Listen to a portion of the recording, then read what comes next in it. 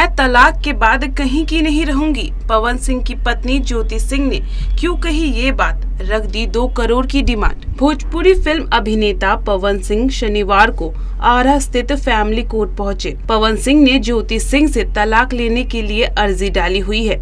सुनवाई के दौरान पवन सिंह की पत्नी ज्योति सिंह ने कहा कि वह तलाक के बाद कहीं की नहीं रहेंगी। इसी के साथ उन्होंने पाँच करोड़ रुपए की डिमांड कर दी। साथ ही कहा कि वह केस लड़ने को तैयार हैं। भोजपुरी फ़िल्म अभिनेता, एक प्रसिद्ध गायक पवन सिंह और ज्योति सिंह के बीच एक बार फिर सुलह नहीं हो पाई।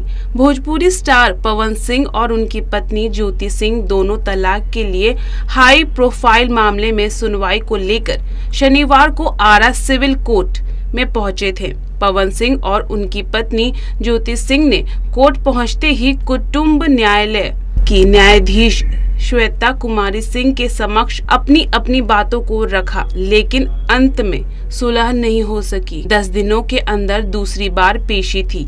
इससे पूर्व 27 सितंबर को दोनों उपस्थित हुए थे। इधर अभिनेता पवन सिंह के अधिवक्ता सुदामा सिंह ने बताया कि दोनों पक्षों को सुलह के लिए बुलाया गया था। ज्योति सिंह की ओर से पाँच करोड़ रुपए की मांग की गई, जबकि फ़िल्म अभिनेता पवन सिंह एक करोड़ रुपए दे रहे थे, लेकिन वह नहीं मानी।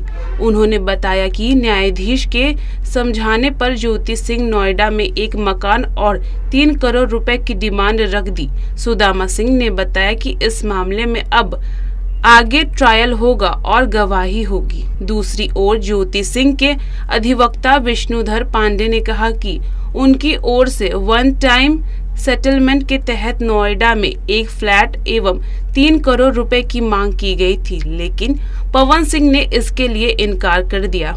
पीड़िता ज्योति सिंह का कहना था कि वह तलाक के बाद कहीं की नहीं रहेंगी। वह अब आगे केस लड़ने को तैयार है। Bureau report Deshwa news. सिर्फ़ खबर दिखाना देशवा न्यूज़ का मकसद नहीं।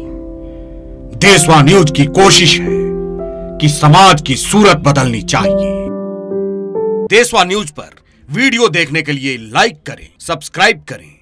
साथ ही बेल आइकन दबाना न भूलें।